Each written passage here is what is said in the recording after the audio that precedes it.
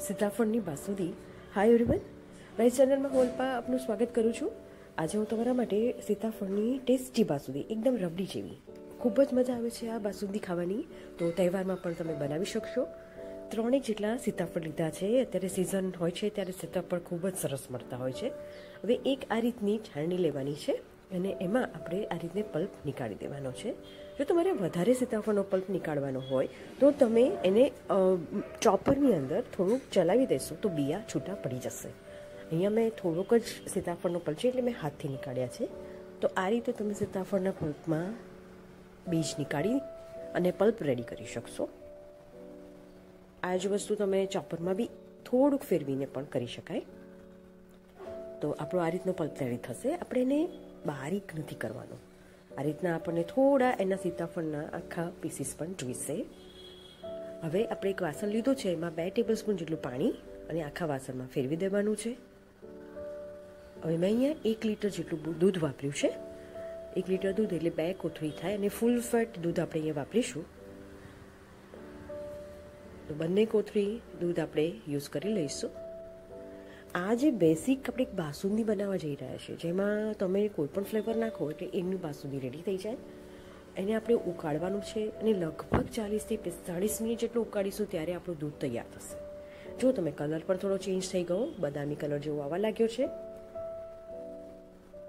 અને આપણું દૂધ ધીરે ધીરે ધીરે ધીરે પડે પડે એને ઉકળવા દઈશું, એટલે સરસ ગાઢું થવા મળશે જો, હવે થોડું થીક અને અંદર કેવી મલાઈ સરસ જામવા લાગી છે આજુબાજુ જે મલાઈ જામે છે તેને પણ આપણે ઉખાડીને અંદર લઈ લેવાની છે. આ રીતે બાસુંદીનું દૂધ તૈયાર કરી શકાય અને એમાં કોઈ પણ ફ્લેવર એટલે કશું પણ નાખીશું તો એની બાસુંદી તૈયાર થઈ જશે. હવે મેં અહીંયા કેશ્યુ નટ્સ એટલે બદામ છે, કાજુ છે એ ઉમેર્યા છે અને ઇલાયચી પાવડર ઉમેર્યો છે.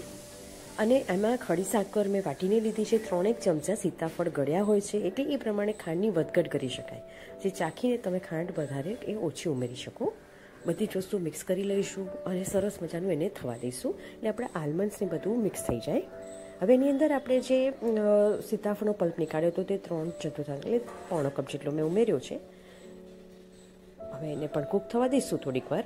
લગભગ એક એક મિનિટ જેટલું એટલે એને આવી રીતના હલાવતા જઈશું અને ચડવા દઈશું. એટલે બંને વસ્તુ મિક્સ થઈ જશે અંદર.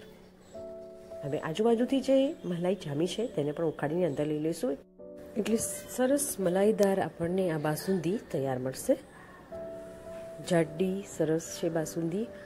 ઘરે બનાવવી આપણા માટે ખૂબ જ ઇઝી છે. બહારથી લાવીએ છીએ તો કોઈ વાર પ્રોબ્લેમ થતો હોય છે આપણને બાસુંદીનો. તો તમે ઘરે જ આ રીતે બનાવશો એકવાર તો વારંવાર બનાવશો. ઠંડી કરી દઈશું એને અને ફ્રીજમાં છ એક કલાક જેટલી ઠંડી કરી અને પછી સર્વ કરીશું. તો અહીંયા આપણે સર્વ કરી રહ્યા છે બાસુંદી. જુઓ કેવી ગાઢી સરસ લાગે છે. અને સીતાફળનો ટેસ્ટ પણ અંદર આવે છે. તમે વધારે નટ્સ નાખવા હોય તો નાખી શકો. ઇલાયચી પાવડર તમારી રીતે ટેસ્ટી વધઘટ કરી શકો. તો જરૂરથી એકવાર બનાવવાનો ટ્રાય કરો. આ ફેસ્ટિવલની સિઝનમાં આ બાસુંદી બધાને ખવડાવીને ખુશ કરી દો. નવા વીડિયો સાથે આપણે ફરીથી મળતા રહીશું. મારી ચેનલને સબસ્ક્રાઈબ કરો, મારા વિડીયોને લાઇક કરો અને શેર કરો.